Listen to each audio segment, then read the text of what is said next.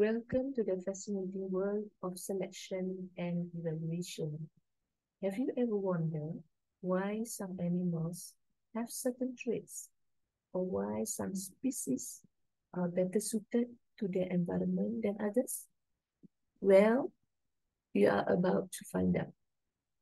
In this level, A-level student title, we are going to explore the amazing process of selection and evaluation. Put, it's all about how life changes over time, from tiny bacteria to massive whales. Every living thing has a story of adaptations and survival to tell. So get ready to dive into the exciting world of selections and evaluation. Without further ado, let's get into it.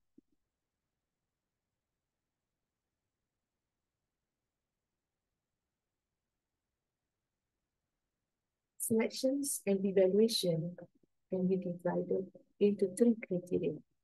Natural selection, stabilizing selections, and directional selection. Natural selections is the process where individuals with advantageous traits for the environment are more likely to survive, reproduce, and pass on those traits to their offspring, leading to an increase in the frequency of the traits in the populations over time. Meanwhile, stabilizing selections is like nature's way of saying, if it is bent, broke, don't fix it. This happens when the environment stays pretty much the same. So individuals with average traits are favored because they are well suited to that stable environment. Meanwhile, directional selections is like nature saying times for a change.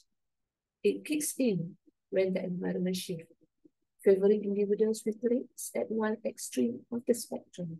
So, if the environment gets colder, for example, animal with thicker fur might be favored over those with thinner fur. Directional selection may result in evolutions. Let's move on to the sickle cells, anemia, and malaria. The similarity is divided into three categories one is more on genetic base. Second, more on hemoglobin mutations. And third, more on geographical distribution. Both sickle, anemia, and malaria influenced by genetic factors. And in terms of hemoglobin mutation, sickle cell anemia is caused by a mutation in the hemoglobin gene. Meanwhile, malaria is caused by the Plasmodium parasite, which infect red blood cells. And in terms of geographical distribution, both diseases are prevailing in regions where malaria is endemic. Let's look into the differences. Sickle cells anemia and malaria. The cause sickle cells anemia is by genetic mutation affecting hemoglobin productions. Meanwhile, malaria is caused by a parasite transmitted through mosquito bites. And the symptom for the sickle cells anemia leads to chronic anemia, pain, and organ damage. Meanwhile, malaria causes fever, chills, and flu-like symptoms.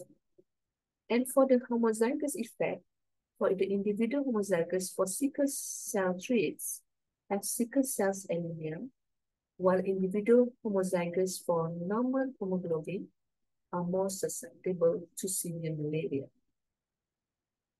For the heterozygous effect, for the individual heterozygous for sickle cell traits has some protections against malaria, but do not typically experience symptoms of sickle cell anemia while individual heterozygous or other hemoglobin variants may have varying degrees of protections against malaria.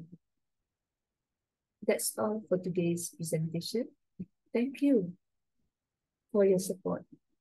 And please don't forget to subscribe Joom studyla YouTube channel. And I hope you all the best in your studies.